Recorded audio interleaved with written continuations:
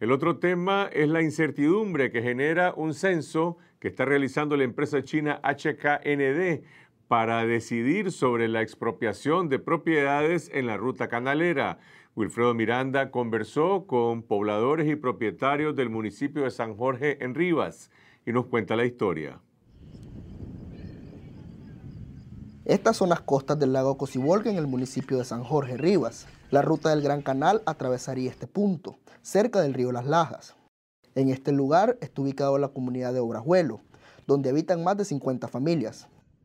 La semana pasada, funcionarios de la empresa china HKND llegaron a levantar un censo de las propiedades. Sí, han venido varias veces y rodeado con policías y, y ellos no no piden ni permiso adentro, andan con un fotografiando y midiendo las propiedades y, obligando que firmen. Yo no he firmado. Ellos no me dijeron nada, ellos entraron, más ni saludaron, porque ellos entran como Pedro por su casa, pues, como que si optar esto ya a ellos les perteneciera. Entra sin permiso en la casa a hacer cosas y no explica mucho, solamente hace cualquier cosa y se fue. Pienso que es, algo que no tiene mucho um, transparencia. Los inspectores llegaron acompañados de policías y soldados, además de representantes del catastro de Managua y una entidad llamada Instituto de Evaluación de Tierras de China. Eran como 10 camionetas que se parquearon aquí en la, la primera finca fue acá que visitaron y partieron de un mojón y vinieron ellos pues a decirnos de que, querían medir la casa porque supuestamente iba a pasar el canal por acá y que les, nos diéramos la documentación, que le diéramos el plano. Eh, y le dijeron a mi marido pues que se lo prestara. Yo les dije que no, que por ningún momento podíamos prestar el plano porque esa era propiedad privada y por lo tanto que no era regalado aquí. Según los pobladores, los chinos ofrecieron comprar las casas y por eso estaban requiriendo la documentación. Hay muchos camionetas de, chino de Managua. Y eh, estoy saliendo y veo, wow, ¿qué pasa aquí? entonces me voy para hablar con alguien. Y yo hablo con un abogado, él dice, estoy un abogado de Managua. La primera cosa él dice a mí es, si usted tiene su título y su cédula y eso, eso, eso, paga bien. Sin embargo, a otros no le ofrecieron pagarle el doble del valor de sus viviendas. Aquí han venido personas de afuera, China, con del ejército, midiendo, diciendo pues que, y no nos dicen nada pues de que cuánto lo van a dar por la propiedad porque aquí tenemos plata invertida. Hay personas con, mucha, con mucho tiempo de vivir ahí nativos de, de esa zona, lo cual están nerviosas pues. La concesión canalera permite expropiar terreno y pagarlo al valor catastral y no de mercado. Sin embargo, las tierras de Obrajuelo pertenecen a la municipalidad, al estar asentadas en las costas del lago. Que le iban a, que iban a valorar solo lo que es eh, el, el, ¿cómo le llaman? Las, las paredes. Nosotros pues no, no queremos salir. Entraban a las viviendas pidiéndole copia de los de la escritura y copia del plano porque la propiedad se la iban a comprar y que, que, los apoyaran y que, que, les iban a pagar el doble de, del valor real. Pero el precio, según este, estos señores compradores, es, precio de catastro. Las tierras de Lucía Torres están ubicadas a un kilómetro de Brajuelo. Ella se rehúsa a venderla al precio del valor catastral. Dijeron que sí, que lo iban a pagar y que supuestamente iban a ser bien pagadas, que por catastro, anduvo el de catastro y que necesitaba, ah, pues, eh, eh, a pagarla como lo paga, pues, catastro. Yo le dije que la propiedad aquí valía, cada manzana de tierra aquí vale 12 mil dólares. Si ustedes la dan, le iban a pagar eso que es, porque nosotros hemos dejado de vender y hemos pasado necesidades y no van a venir otra gente de otro país, le digo, a querernos expropiar nuestras tierras por una nada, le. Así es, compra propiedades y Octavio Ortega es presidente de la Fundación de Municipios de Rivas. Él confirma que el anuncio de la ruta canalera ha generado una ola especulativa sobre el valor de la tierra. Que es lo, otro que está sucediendo en Rivas. Los precios de las propiedades, producto del canal, han subido de manera, eh, no tienen ni idea. Pues una manzana de tierra, me decían, en Cañas de García normalmente te la vendían en mil dólares. Hoy te están pidiendo 10 mil dólares por esa manzana ¿verdad? Y te hablo de una comunidad adentro, ¿verdad? Las propiedades ahorita se han disparado, pero como no tenés idea, pues. Entonces, ¿con qué dinero estas personas van a reubicarse en otro lugar? ¿Dónde reubicarán a los pobladores expropiados? Es otra pregunta que los funcionarios dejaron sin respuesta. Que, en otro, que lo iban a dar en otro lugar, pero hasta ahí. Como dicen, como engañándonos, porque a uno le dice una cosa, a otra gente le dice la otra, y así lo llevan.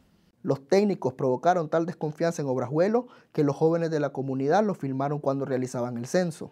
Los funcionarios extranjeros llenaban un documento titulado Formulario de investigación sobre la población, la vivienda y los accesorios del terreno objeto de utilización del proyecto del Gran Canal de Nicaragua. Ellos llegaron y dijeron pues que es mi casa, yo me llamo Julián Netal, deme su, nombre, mi nombre, su cédula, me dice firme aquí, entonces yo no firmo, le digo, porque mi firma vale, le digo, si es para confiscarme, ¿qué va a hacer? Va, ¿qué, ¿Qué propuesta me da usted? Le digo, nada, usted no me dieron ninguna respuesta, ninguna propuesta. Porque ellos plantean que lo, lo que ellos querían es que les notificaran con anticipación y reunirlos a todos, sino que andan metiéndose de casa en casa cuando ellos ellos se asustan porque de pronto ellos miran que están todos adentro. Anda la gente del ejército armada y andan policías, andan intérpretes. Un comunicado de HKND describió estas visitas como un censo de población, bienes accesorios y clasificación de tierras, realizados por expertos del Instituto Chino Changyang, en conjunto con la Procuraduría, INETER y la DGI para verificar la información. Según HKND, la policía y el ejército participan para brindarle seguridad al personal chino, pero la población de Rivas califica estas inspecciones como una verdadera invasión. Anteriormente hubieran dicho ellos, lo hubiéramos reunido, tenemos una alcaldía que ellas perfectamente hubieran hablado con nosotros, como pagamos los impuestos, lo cual ellas hubieran arreglado de una manera, pues una persona por una, pues, en la comuna. Pero esto no, no se dio así, se dio invasión para mí. Unos días después del censo, la empresa ERM, encargada de realizar el estudio de impacto ambiental del canal, llamó a una reunión. Sin embargo, la invitación no era para todos los afectados. En una carta ERM rogaba no extender la invitación a otros miembros de la localidad. La reunión fue realizada a puerta cerrada, sin permitir el acceso a los medios de comunicación. Le agradezco que se retiren, yo no puedo dar declaraciones. Según el comunicado de HKND, el propósito de estas reuniones es realizar grupos focales con los líderes de las comunidades se proponen efectuar tres encuentros en Rivas, Ometepe, Nueva Guinea y Bluefields. En Rivas, los futuros afectados por el canal salieron decepcionados del encuentro. Y se, hubo muchas quejas en el sentido de que este, hay mucho hermetismo ya eh, y mucha privacidad en la cuestión de la información de lo que es el canal.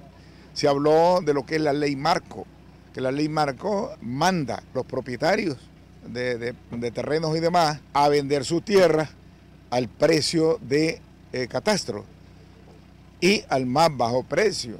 Y otros dicen las declaraciones, por ejemplo, que ha dado el señor Talavera, que es el vocero, ah, dice, no, dice, es que se va a, a hablar con la gente para un precio justo. Pero dijimos esto, ¿qué es justo? Justo para el canal, justo para el propietario, justo cuál es lo justo. Y eso no está escrito, nada más en la boca del señor Talavera. Lo que está escrito es en la ley marco, todas esas inquietudes, todo ese reclamo y demás, naturalmente que la gente que vino a exponer no tiene mayor capacidad de respuesta. Correcto, yo creo que me expliquen qué, es lo que va a pasar. Y eso, lo, y, eso lo, y eso lo platica todo el mundo. Lo que vamos a hacer afectado en el canal. Los testimonios que hemos visto en este reportaje contradicen el alegato de la empresa china HKND de que sus funcionarios solo ingresan a propiedades privadas y viviendas una vez que han obtenido una autorización expresa.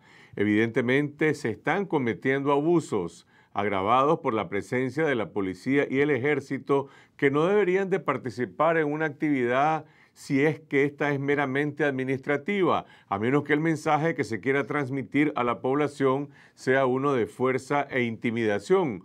Pero el problema de fondo aquí es que el gobierno sigue poniendo la carreta delante de los bueyes.